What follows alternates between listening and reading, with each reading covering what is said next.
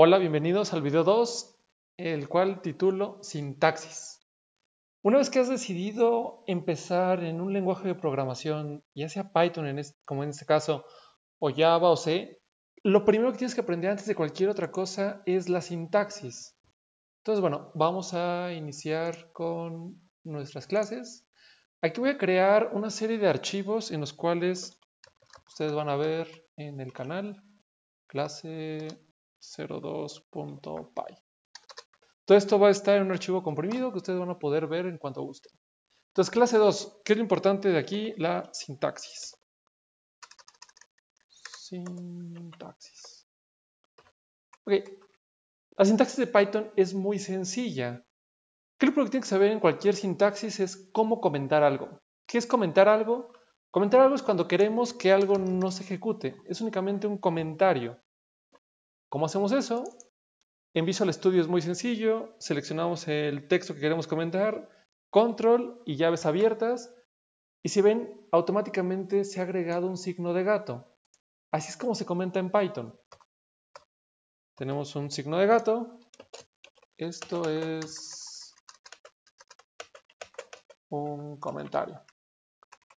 Los que no sepan qué es un comentario, un comentario es algo que no se va a ejecutar. Si nos ponemos print. Hola sintaxis. Y lo ejecutamos,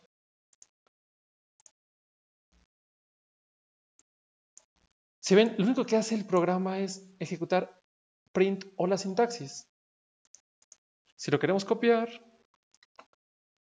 hola sintaxis 1, hola sintaxis 2, y comentamos el primero, y lo ejecutamos, lo único que sale es el segundo. ¿Por qué? Porque lo hemos convertido en un comentario. Visual Studio Code, control, llave abierta, perdón, llave cerrada, llave cerrada, acuérdense, llave cerrada. Cuida llave cerrada, llave cerrada es este símbolo. Entonces, control más llave cerrada es para comentar y descomentar.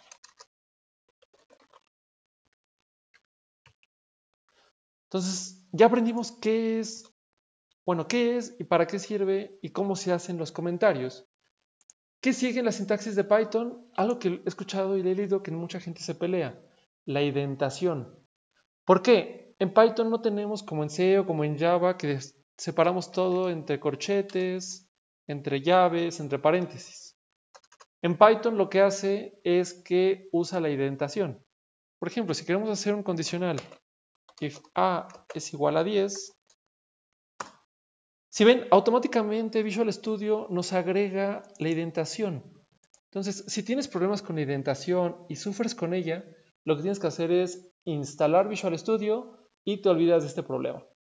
Para los que no han visto qué es identación, identación es únicamente agregar cuatro espacios, 1, 2, 3, 4, para separar por bloques. Si nosotros aquí creáramos otro bloque for a in as, por decir algo.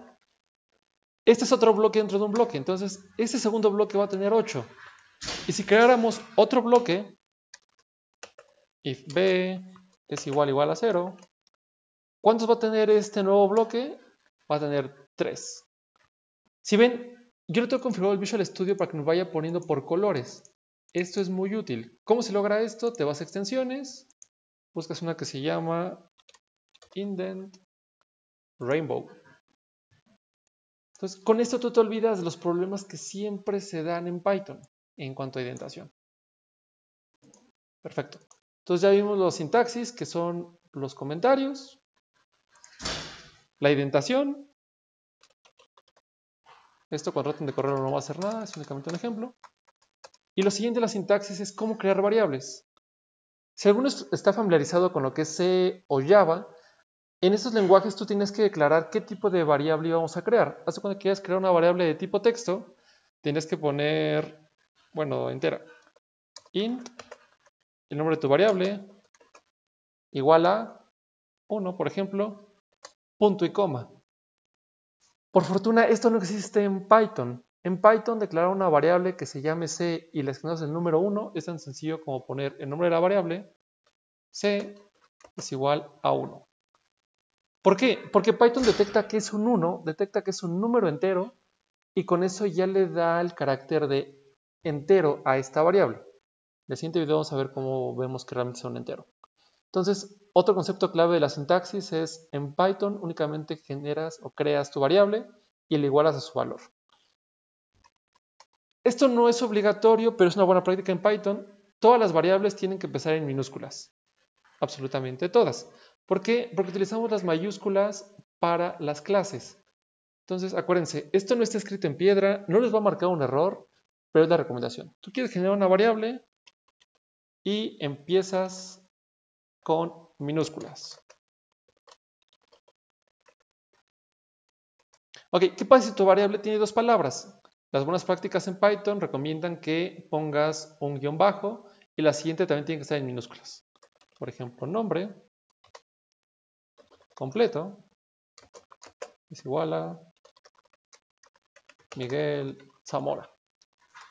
Como les digo, esto no va a marcar un error si ustedes lo pusieran en mayúsculas simplemente lo hace más leíble para los demás programadores que trabajan con ustedes. ¿Qué más? Eh, ya cubrimos esto, ya cubrimos lo otro.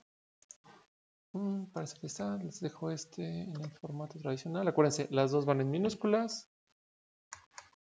Y listo. Ah, una última cosa. Cuando creemos, cuando trabajemos con textos o strings, Python nos da la facilidad de trabajar ya sea con comillas dobles, esto es un texto, o con comillas sencillas.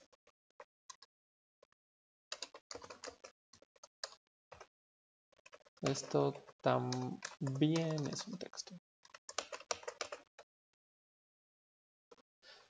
Entonces, esto es lo básico que tienen que saber de la sintaxis en Python.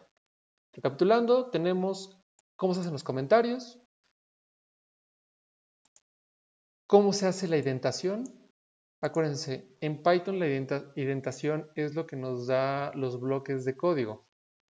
Igual si hacemos una nueva función, def función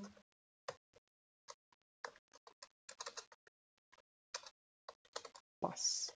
Ahorita no voy a explicar qué significa esto. Como ven, este es otro bloque igual. Tú tienes que agregar o Visual Studio o el editor de código que tú manejes te va a agregar estos cuatro, estos cuatro espacios. De hecho, si ves en la parte de aquí abajo, aquí viene configurado que son cuatro espacios. Quito esto para más grande. Y este. Entonces acuérdense, todos estos archivos van a estar en la descripción del video. Eh, y bueno, hasta aquí dejamos el día de hoy. Espero esto les sirva bastante. Adiós.